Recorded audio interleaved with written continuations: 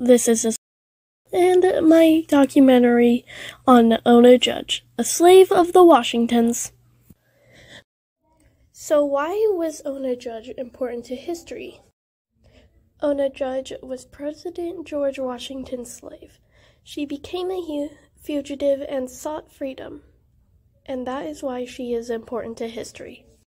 Ona Judge was born to a black woman named Betty and a white man named Andrew Judge, a white tailor that the Washingtons had hired. Unfortunately, she was one of millions of people who had to learn to live under the intu- intuition, intuition of slavery. Ona Judge became the personal assistant of uh, Martha Washington at 10 years old. Like her mother, Ona was very skilled at sewing. She had a younger sister named Delphi Judge. When George Washington was elected president, she and seven other of Washington's slaves would travel to New York and on to Philadelphia. There was a law in Philadelphia that if a slave was there for six months, they were allowed to go to court to claim, claim freedom. So the Washingtons would secretly switch the slaves from Philadelphia Philadelphia and Mount Vernon back and forth to reset the timer, which was illegal. The work uh, Ona would typically do for her Martha is clothe her, help her bathe, clean and mend her clothes, organize her belongings, or anything else required. In Philadelphia, she was given cash a couple times to see a play or go to the circus. She also received high quality clothing. This was very different from how the other slaves were treated.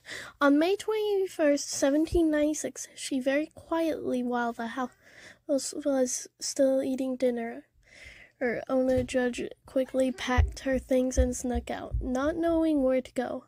Two days later, there was a $10 ad for Ona's capture. The Washingtons said she did it with no provocation, and they treated her more like a child than a slave. However, she did have a reason. She learned that when her master and mistress died, she would be given to Eliza Parke Custis Law, and according to Ona, she was a brat. She was determined to never be her slave. The Washingtons could not comprehend why she would have run away and assumed that she was seduced and enticed away by a Frenchman. Now back to Ona Judge herself.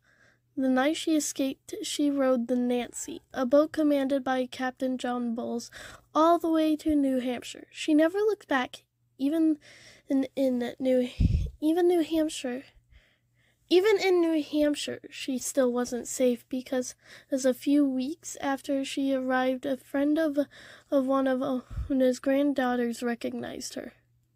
I mean, Martha. A friend of one of Martha's granddaughters recognized her.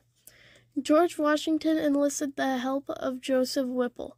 Whipple tried to convince Judge to go back with the Washingtons. She replied by saying she would rather die than go back to them or be sold to someone else. George was furious when hearing this news and told Whipple to capture her and bring her back. He, he had many he, he had made many attempts at capturing her, but never succeeded. Ona eventually found and married a man named Jack Staines, who was a free a black sailor, and married him. They had three children named Eliza, Will, and Nancy. In August 1779, George Washington made one last attempt to recapture her. He asked Burwell Bassett Jr. Eh, to do it for him. He successfully found her and tried to persuade her into going back, but she refused. Though Washington told him not to use it troublesome or unpleasant methods of getting her back, he was determined to bring her back with force.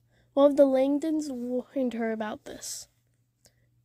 Judge's husband was at sea, and she had one of her her one year old in her arms.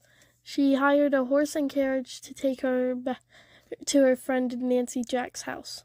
Bassett returned to Virginia empty handed. After George Washington's death in 1799, the Washington no longer worried Ona, but now the Custis is dead.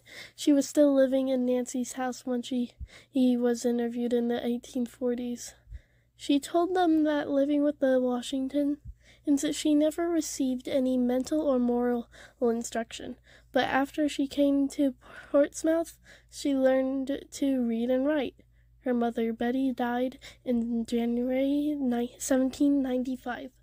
Ona Judge died in 1848. And that is my documentary on Ona Judge, a fugitive slave of the Washingtons.